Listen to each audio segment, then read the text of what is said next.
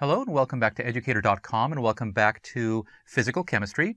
So today we're going to talk about thermochemistry. We've just finished our discussion with several examples of thermodynamics discussing energy and heat and work and things like that.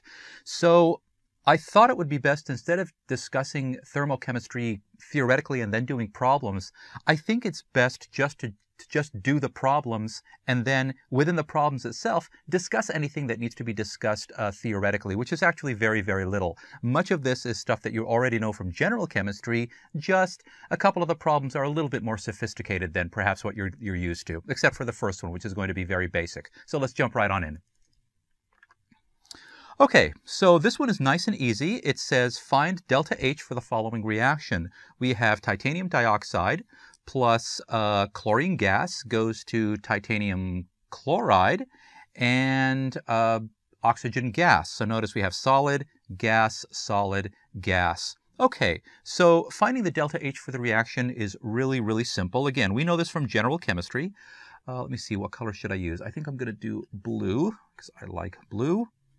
So we know that the delta H, well, it's equal to well, we'll just say the delta H of the reaction, okay? And we remember that this little degree sign up above there uh, represents standard conditions. So standard conditions happen to be 25 degrees Celsius or 298 Kelvin and one atmosphere pressure. It's just we need a particular standard. So we choose that standard. Well, it's equal to the sum Ah, boy, I seem to have forgotten how to write with this pen here. The sum of the delta H's of formation for the products minus the sum of the delta H's of formation for the reactants, including coefficients. And again, this is something that we already know from general chemistry. It's just products minus reactants. Whenever you see a standard uh, table of thermochemical data, thermodynamic data, you're going to have the enthalpies of formation listed, you're going to have the standard free energies, and you're going to have the entropies listed. And you can use those tables. You just take the enthalpy of the uh, products, subtract the enthalpy of the reactants, making sure to include the coefficients, and that's it. That gives you the actual enthalpy change for the reaction. Uh, the heat of reaction uh, under constant pressure conditions, because again, under constant pressure conditions, the heat equal, the enthalpy is equal to the heat.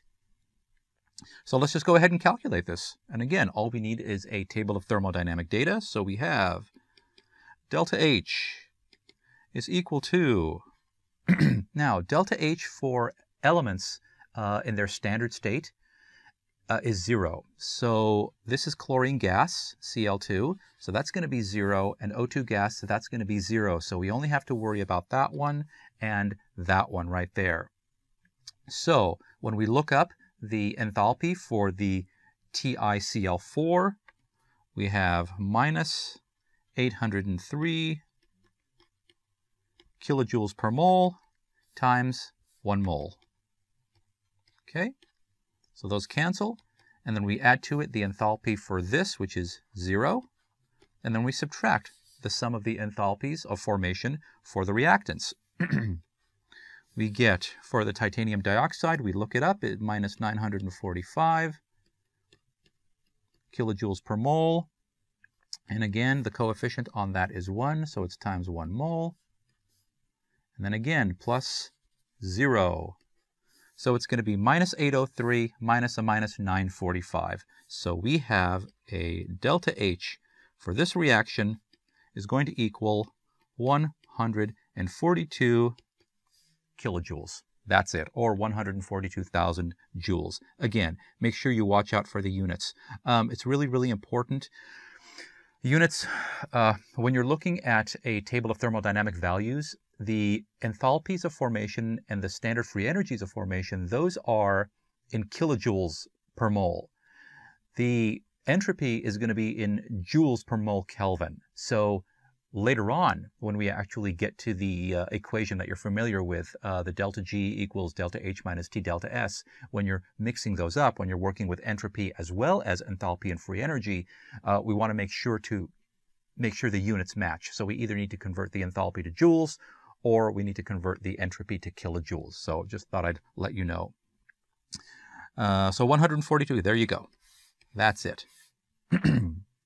so this is positive enthalpy, which means this is an endothermic reaction. In other words, in order for this reaction to both go forward, it actually has to pull 142 kilojoules of heat from the surroundings. It has to go into the system. That's it.